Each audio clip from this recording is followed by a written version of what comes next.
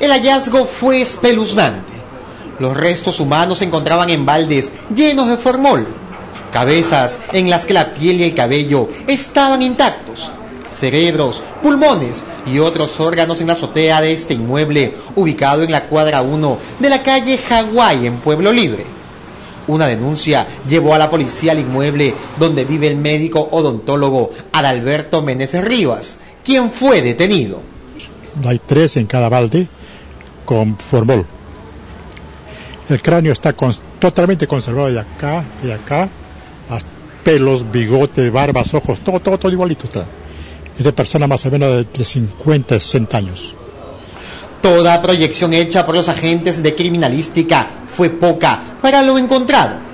Además de las siete cabezas humanas, ubicaron 20 cajas con decenas de cráneos en cada una, piezas óseas de hasta 400 cadáveres distintos. Fue Juana Echevarría, esposa de Meneses, quien hizo pública la impresionante colección del cirujano odontólogo.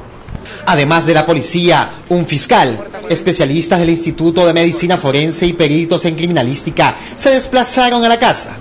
La procedencia de estas piezas y si alguna de ellas es consecuencia de un acto homicida es uno de los puntos de investigación.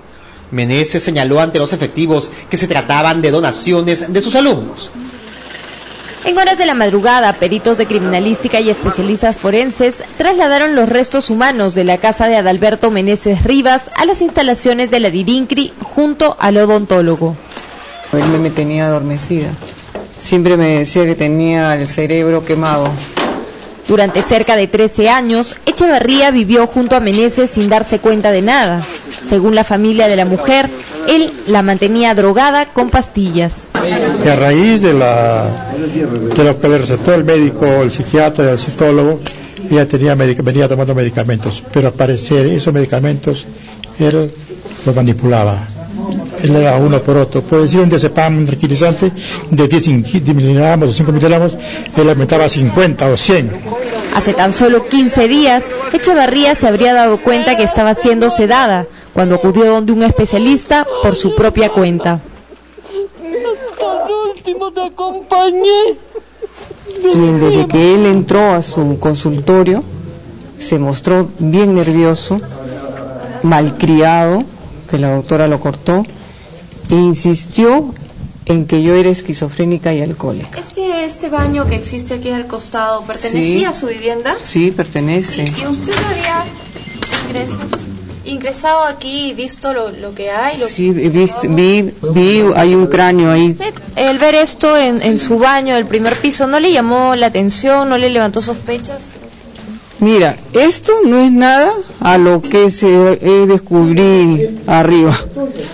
Fue horrible. Usted no subía porque se encontraba yo soy Entonces esto, yo he trabajado con esto como como profesional. Pero le pregunto porque usted se encontró en un estado de letargo, entonces no, subía.